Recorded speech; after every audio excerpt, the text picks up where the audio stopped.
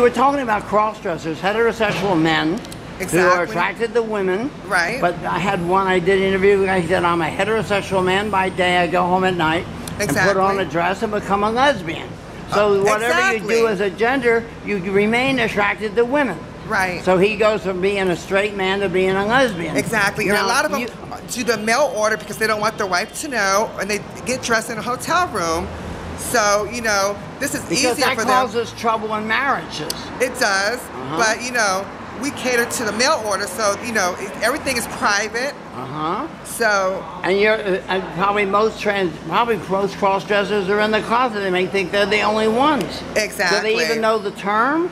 Yes, they probably do. Yes. Uh, They, I mean, but I'm saying in that, I mean, there's so many closeted people in the world about so many things, including infertile couples, by the way. right, but there's so many support groups and you know, other like things groups. Oh, I got on the cross dressers mailing list in Baltimore, in Baltimore, Washington D.C. area. Right. I was getting 40 emails a day. I, Wow. I couldn't. I, I mean, I had two. I just finally, I just, it- you know. But it's very interesting. Now, what interests me is that I can see putting on a dress, but then they want to actually feminize themselves by putting on hip hip pads. pads and the silicone inserts for Really? their titties. Yes. And that I, that doesn't.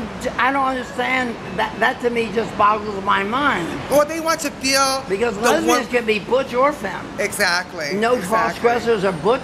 Are there anything such as a butch cross-dresser who comes off as a butch lesbian? No, no, No? I don't think so. They just love, they claim they love femininity, Femininity, so much. exactly. Whether they want to Right. be a straight cross-dresser Right. or a lesbian cross-dresser, that's on them. I didn't know there were lesbian cross-dressers. Yeah, they, well, they get some of them are married, you know, so they, they have to be some type of. They I have an interview called a transgender marriage with someone who was trans, was a married man, and then transitioned. Right. And so actually had, was legally married to the wife still, but the gender change was recognized. So essentially, you had, uh, you know, uh, two females Right. that were legally married. This was before the law was changed in New Jersey. It's one of my 157 trans videos on YouTube. oh wow, Wow. that's cool. And so, I mean, what do you find they're like? Are they very shy as people or assertive?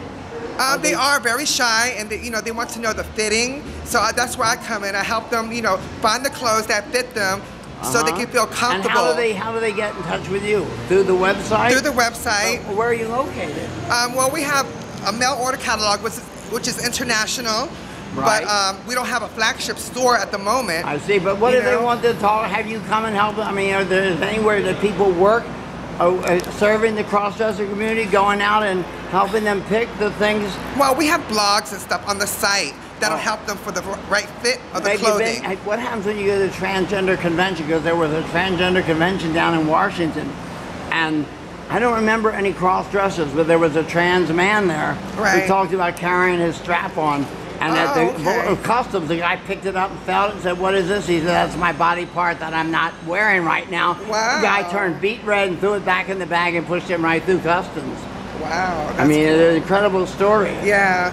So it's been a pleasure working for Suddenly Femme as Yeah. a tra- transgendered woman. Yeah. You know? So And so it's uh, the thing is, once again, it's crossdressers.com. crossdresses.com. Okay, I'll look forward to, to seeing your your suddenly femme fashions, and you know Mercedes DeMarco.